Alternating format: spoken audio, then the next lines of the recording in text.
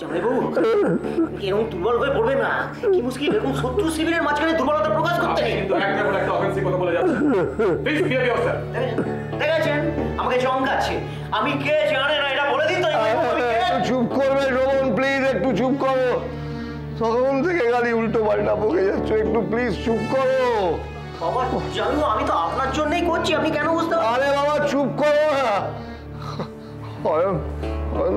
বাবা মিস্টার সেন আপনারা তো বুঝতে পারছেন আমার মনের অবস্থাটা কি।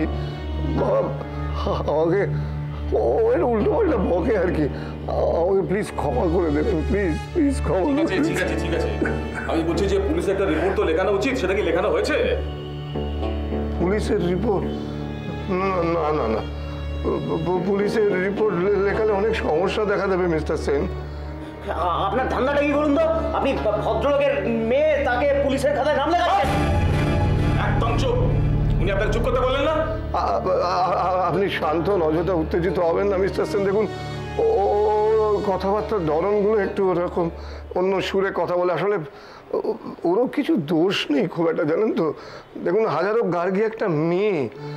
একটা মেয়ে নিরুদ্দেশ হয়ে গেলে সেটা পুলিশের খাতায় গেলে খবরটা চারদিকে চাউর হয়ে গিয়ে কি হবে বুঝতে আমি আমি সব বুঝতে পারছি। দেখুন আপনার সন্দেহটা কিন্তু আপনি তো ভবিষ্যতের কথাটা ভাবছেন আপনি এখনকার কথাটা কেন ভাবছেন না? রজবাবু আপনি শুনুন শুনুন শুনুন। হয়তো গার্গী সত্যি কোনো বিপদে পড়েছে বলেই আমাদের সঙ্গে যোগাযোগ করতে পারছি না এবং সেক্ষেত্রে তো পুলিশ ছাড়া কেউ ওকে বাঁচাতে পারবে না।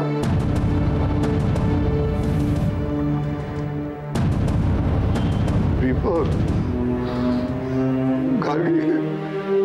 গার্গি বিপদে পড়েছে?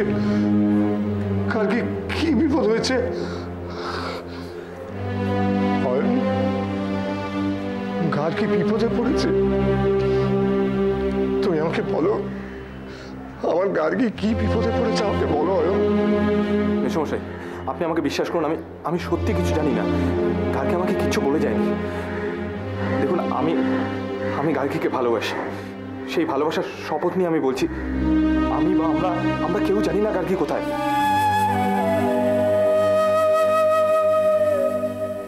মেসমশাই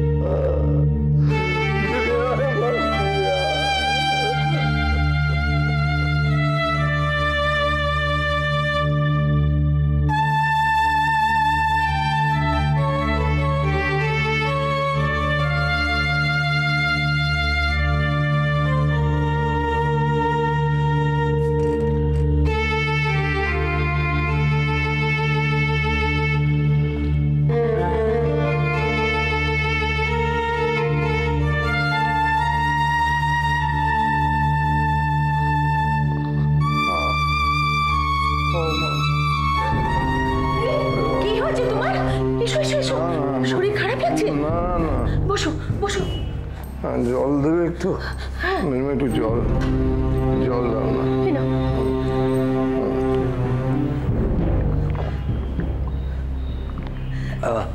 কি হয়েছে তোমার? মিন্ময়ী আমাদের আমাদের মেয়েটাকে বোধহয় আমরা আর ফিরে পাবো না গো। অয়নদের বাড়িতে গিয়ে তুমি সেরকম কিছু শুনলে নাকি? না ওরা মুখে কিছু বলেনি কিন্তু ভাবে ভাবে সেই কথাই প্রকাশ পেল আর কি। আচ্ছা শোভন কোথায়? শোভন যায়নি তোমার সঙ্গে? হ্যাঁ গিয়েছিল তো। আমারই দোষ হয়েছে ওকে নিয়ে যাওয়া জানো? আসলে ও বেচারা তো লেখাপড়া শেখেনি। কার সঙ্গে কীভাবে কথা বলতে ও কি করে জানবে বলো? আমি জানতাম আমি জানতাম ও এরকম একটা কিছু করবে আমি জানতাম। ওকে অয়নের বাবা মার সঙ্গে কোনো দুর্ব্যবহার করেছে? না না না না না। সেরকম কিছু করার আগেই আমি ওকে চুপ করিয়ে দিয়েছি। আসলে আসলে এখন ও তো তোমার ভাই। ও তো আমাদের মতো চায় যে ওর ভাগ্নিটা আবার ফেরত আসুক এখানে। ও তো ভাগ্নিকে ভালোবাসে, তাই আমি বাপ, যত জ্বালা, যন্ত্রণা সবই তো আমার। আমি যতই হোক রাগ দমন করেছি কিন্তু ও তো পারে না। যন্ত্রণা বুকে নিয়ে আমি তো বড় লোকদের সঙ্গে লড়াই করতে পারব না মৃন্ময়ে ওর বয়স অল্প, রক্ত টকবক করে ফুটছে। ওকে আমি দোষ দিচ্ছি না।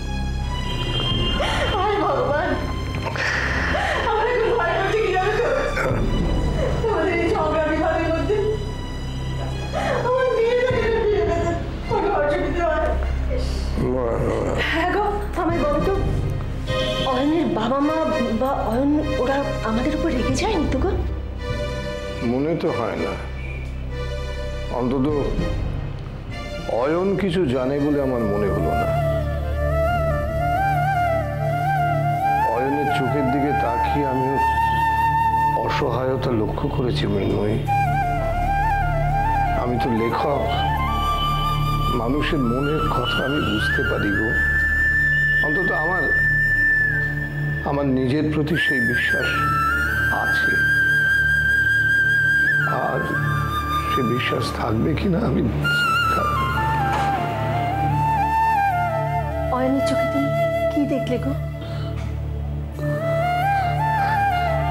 অয়ন কিছুই জানে না। অয়নের মুখটা আমাদেরই মতো গাছের জন্য কাঁদছে আমি তোমায় বলেছিলাম না? অয়ন আমার গার্গিকে খুব ভালোবাসে। দেখো, আমিও তোর মা। আমি ছেলে মেয়ের মন বুঝতে পারি। শুধু মেয়েটা বাড়ি ছেড়ে চলে যাওয়ার আগে আমি ওর মনটা বুঝতে পারিনি বুঝতে পারলে কোনোদিন আমি ওকে বাড়ি থেকে যেতে দিতাম না গো।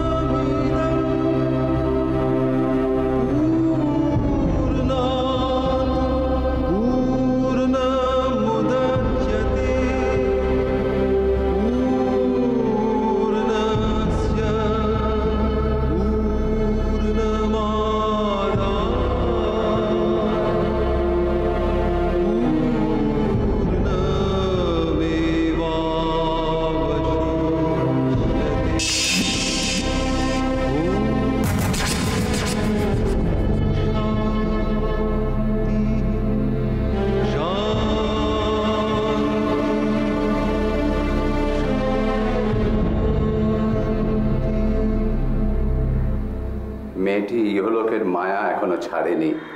গুরুদেব মেয়েটা কি বেঁচে আছে? কোথায় পেলেন গুরুদেব? নদীর ধারে। দেখছ না? গায়ে জল কাদা সব লেগে রয়েছে। মেয়েটির পিঠে একটা মারাত্মক ক্ষত আছে। বোধহয় গুলি বা ওই ধরনের কিছু। আস্তে আস্তে ভয়ের কিছু নেই। মা ভবতারিণী ওকে আমাদের কাছে পাঠিয়েছেন বলেই ও ঘাটে এসে পৌঁছেছে। ঘাটে?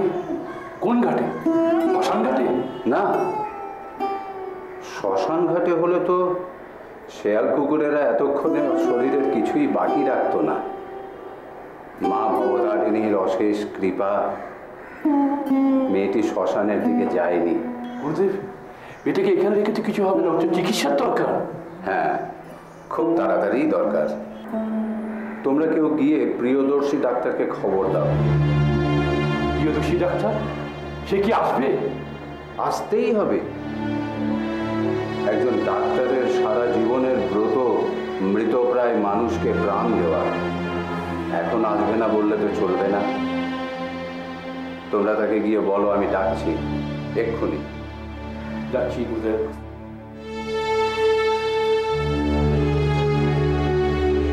প্রতিমা তুমি মেয়েটিকে একটু পরিষ্কার করে দাও। আর তাকে আমাদের এই আশ্রমেরই পোশাক পরিও। কিন্তু খুব সাবধানে বেশি নাড়াচাড়া করো না।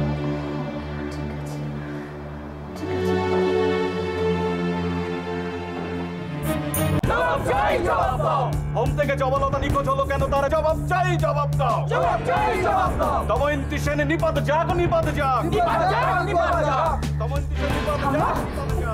কি হয়েছে বলতো? এ কি দিদি ভাই তুমি এই গন্ডগোলের মধ্যে ভেতরে এলে কি করে? আমি তো পেছনের গেট দিয়ে এলাম। আর আমি না এলে কে আসবে বলো?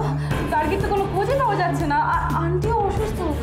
আন্টি আমাকে বলল এখানে এসে তোমাকে হেল্প করতে। ও, আচ্ছা। এখানে এসে দেখছি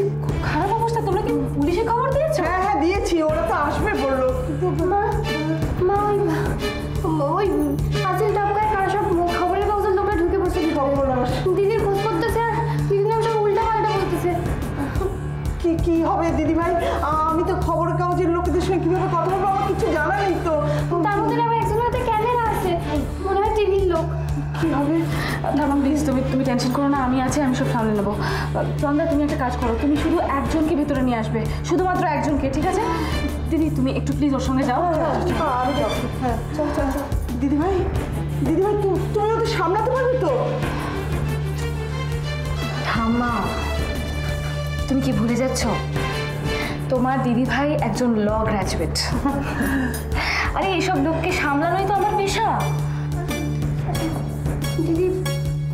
নমস্কার। হ্যাঁ নমস্কার। বলুন। ম্যাডাম আপনার পরিচয়টা কি?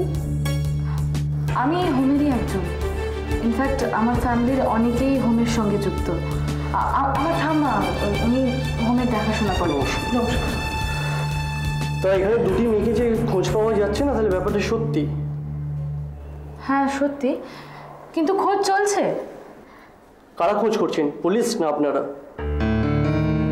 সব ব্যাপারেই প্রথমেই পুলিশকে ইনভলভ করাটা তো ঠিক নয়। দুটো মেয়ের জীবন। আমরা যতক্ষণ না শিওর হচ্ছি তারা স্বেচ্ছায় এখান থেকে চলে যায়নি ততক্ষণ খোঁজটা আমরাই করছি। কিন্তু পুলিশ যত তাড়াতাড়ি ব্যাপারটা সলভ করতে পারবে তা আপনারা কি পারবেন?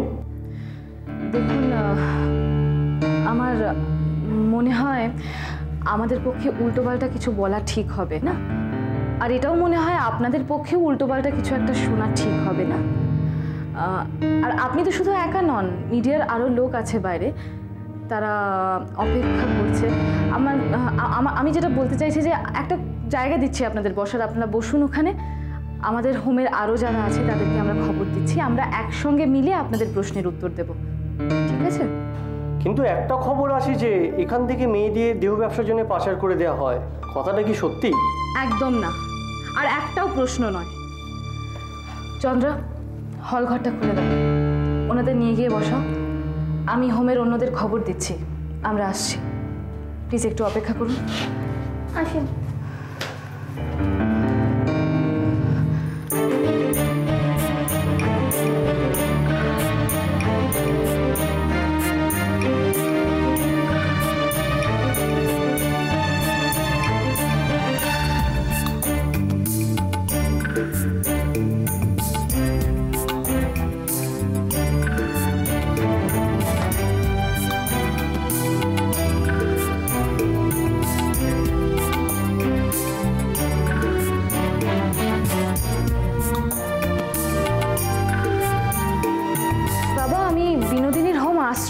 আশ্রয়ে আশ্রয়?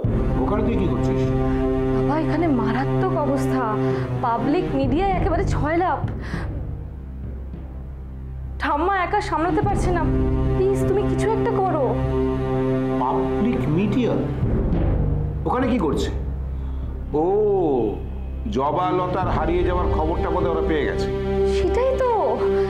দেখো ঠাম্মা পুলিশকে খবর দিয়েছে কিন্তু তারা এখনও এসে পৌঁছয়নি। কিছু একটা করো প্লিজ ইমিডিয়েটলি ঠিক আছে ঠিক আছে তুই চিন্তা করিস না। আমি দেখছি এদিকে। তুই ঠাম্মাকে দেখে রাখিস। ওকে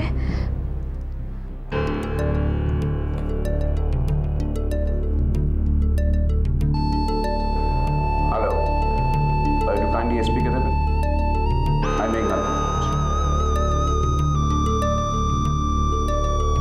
হ্যালো আমি মেঘনাথ বলছি। আচ্ছা তোমার এরিয়াতে একটা হোম আছে জানো? আশ্রয়? হ্যাঁ হ্যাঁ হ্যাঁ। ওটাতে আমার মা ইনভলভ শুনলাম ওখানে নাকি কয়েকজন লোক বেশ জমায়েত হয়ে গন্ডগোল করছে। একটু দেখবে ওখানে কি হচ্ছে ওকে থ্যাংক ইউ মা রে একই গুরু দায়িত্ব দিলি তোর ছেলেকে, মা? মেয়েটা তো ভেসেই যাচ্ছিল। তাহলে কেন আমার হাতেই ওকে বাঁচিয়ে তোলার ভার দিলি, মা? এত বড় দায়িত্ব তুই মাথায় হাত না দিলে তো আমি পারব না মা। তুই ওকে রক্ষা কর। কোথাকার মেয়ে কোন বাপ মায়ের ঘর অন্ধকার করে চলে এসেছে কে জানে? ওর মায়ের কোল খালি করে দিস না মা। খালি করে দিস না। বলুন মিস্টার বোস বলবেন তো আপনি। বিনোদিনীর হোমের এখন কি অবস্থা সেটা খোঁজ নিয়েছেন? হোম হোমের ব্যাপারে আমরা আর কোনো স্টেপ নেব না এ তো কথাই হয়ে গেছে। কিন্তু যে স্টেপটা নেওয়া হয়েছে তার জন্য যদি ডিস্টারবেন্স হয় তার দায়িত্বটা কে নেবে? ডিস্টারবেন্স বুঝলাম না। ইমিডিয়েটলি আপনি আশ্রয়তে যান। ওই মেয়ে দুটো উদাহ হওয়ার ফলে ওখানে পাবলিক জড়ো হয়ে গেছে। মিডিয়াও পৌঁছে গেছে। গিয়ে দেখুন ওখানে কি করতে পারেন। ওই টেনশনের মধ্যে যাওয়া আর প্রজাপতির আগুনে ঝাঁপ দেওয়া তো একই ব্যাপার। দরকার পড়লে সেটা করবেন। আগুন লাগাবার সময় সেটা খেয়াল ছিল না? আগুন আমি একা লাগাইনি মিস্টার মেঘনাথ বোস। আগুন লাগিয়েছেন আপনি আমি দুজনে তাই আগুন নেভানোর দায়িত্ব একা আমার নয় আপনারও।